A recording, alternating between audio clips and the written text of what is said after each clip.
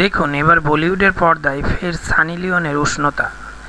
রইস ছবিতে লায়লা মে লায়লা গানে নেচে নতুন করে বলিউডের পর্দায় উষ্ণতা ছড়িয়েছিলেন সানি লিওন। তারপর থেকে দর্শক অপেক্ষা করছেন কবে আবার সানির জাদু দেখা যাবে আইটেম গানে। সেই অপেক্ষা এবার অবসান ঘটেছে। সঞ্জয় দত্তকের কামব্যাক ছবি ভূমিতে ফের আইটেম নম্বরে দেখা যাবে সানি লিওনকে। এবার একেবারে অন্যরকম, বরং বেশি মাত্রায় উষ্ণ।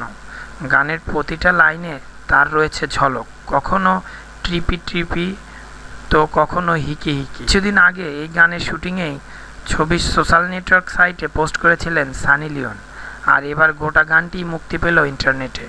For latest news, please subscribe my channel. Thank you, everybody.